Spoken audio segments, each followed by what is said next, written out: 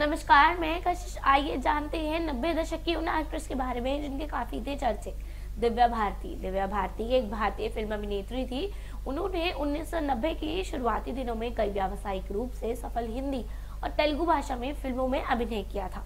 वे बहुत ही कम समय में खुद को नब्बे के दशक की प्रमुख अभिनेत्री के रूप में स्थापित करने में कामयाब रही। दिव्या भारती का जन्म मुंबई में ओम प्रकाश भारती के घर में हुआ, जो एक बीमा अधिकारी थे। और उनकी पत्नी का नाम मीता भारती था।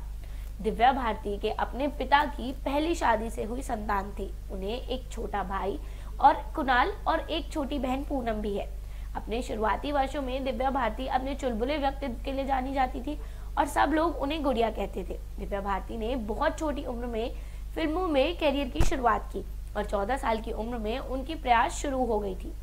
कई असफल प्रयासों के बाद उन्होंने 16 वर्ष की उम्र में सफल तेलुगु फ़िल्म बोबली राजा से सन 1990 में की। शुरुआती समय में भारती को कम महत्व वाली भूमिकाएँ दी जाती थी। फिल्मी सफ़र में उन्हें सफलता हिंदी विश्व महात्मा से मिली। इसी फ़िल्म के साथ साथ समुद्र पार गाने से उन्हें अलग पहचान मिली। दिव्या भारती ने शोला और शबनम और दीवाना जैसी फ़िल्मों में शाहरुख खान, गोविंदा और ऋषि कपूर जैसे प्रशंसी अभिनेताओं के साथ सफलता हासिल की, जिसके बाद वह सर्वश्रेष्ठ महिला पदार्पण के लिए उन्हें फ़िल्म फेयर अवार्ड मिला। उन्होंने 1992 और 1993 के बीच 14 से अधिक हिंदी फ़िल्मों में अभिनय किया, जिसका हिंदी सिनेमा में कभी न कभी टूटने वाला रिकॉर्ड बना गए उनकी अंतिम पूरी की हुई फ़िल्में सह अभिनेता से कमाल सदनाहा के साथ रंग और अभिनेता जैकी श्रॉफ के साथ शतरंज थी, जिन्हें दिव्या भारती के मृत्यु के बाद रिलीज़ किया गया। दिव्या भारती को अपने संपूर्ण करियर में कई कठिनाइयों का सामना भी करना पड़ा। उन्होंने खुद को ढूंढा और स्वयं का बॉलीवुड में असफल मुकाम बनाने में कामयाब रही। लेकिन उन्नीस सौ तिरानवे में हुई उनकी रहस्यमय मृत्यु से उनका करियर का भी समाप्त हो गया। उनकी मृत्यु काफ़ी छोटी उम्र में हुई। शोला और शबनम की शूटिंग में गोविंदा के माध्यम से दिव्या भारती की मुलाकात साजिद नाटियावाला से हुई और जल्द ही दोनों एक दूसरे के साथ प्यार में पड़ गए। 10 मई 1992 को दिव्या भारती ने नादियावाला से शादी की। उन्होंने अपने विवाह के बाद इस्लाम धर्म को कबूल किया। उसका नाम दिव्या भारती से बदलकर सना नादियावाला हो गया।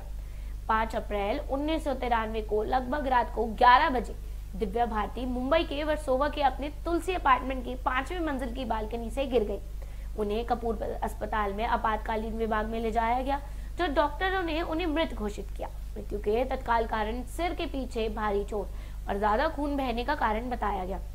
लेकिन मीडिया ने कई कारणों को शो किया, जिसमें शराब के प्रभाव में गिरने, किसी के द्वारा आत्महत्या और उनके पति का अंडरवर्ल्ड माफिया के साथ भागीदारी, यह बात का सतमा ये सब शामिल है। जाँच 1998 में मुंबई के पुलिस ने की थी और मृत्यु के कारण आसमिक मृत्यु के रूप से बताया गया। लेकिन उनकी मृत्यु का असली कारण आज भी रहस्य बना हुआ है। 7 अप्रैल 1993 को मुंबई के विले पार्ले के शमशान में उनका अंतिम संस्कार किया गया। दिव्या भारती की पूरी फ़िल्में में से दो रंग और शतरंज उनकी मृत्यु के दो महीने बाद रिलीज़ हुई। जब उनकी मृत्यु हो गई थी, उन्होंने अनिल कपूर के साथ फ़िल्म लाडला के आधे से ज़्यादा भाग को चर्चित कर लिया था। लेकिन बाद में श्रीदेवी को उनकी भूमिका में पूर्ण किया गया। उन्होंने कई अन्य फ़िल्मों में जगह दी गई। जिसने उन पर मोह, कर्तव्य, विज्ञापन और आंदोलन जैसे हस्ताक्षर किए थे। उनकी अपूर्ण तेलुगु फ़िल्म थाली मुंदू का आंशिक रूप से भारतीय अभिनेत्री रंभा ने पूरा किया था, जो थोड़ी थोड़ी दिव्या भारती के समान थी और इसलिए उनके लिए फ़िल्म से कुछ दर्शकों को और दृश्यों के लिए भी पूरा किया। दिव्या भारती के जीवन के आधार पर एक film love behind border pipeline में थी, लेकिन कभी बनाई नहीं गई थी। चाहे दिव्या भारती आज हमारे बीच नहीं रही है फिर भी वो आज हमारे चाहतों के दिलों पर राज कर रही है। आज के लिए बस इतना ही, धन्यवाद।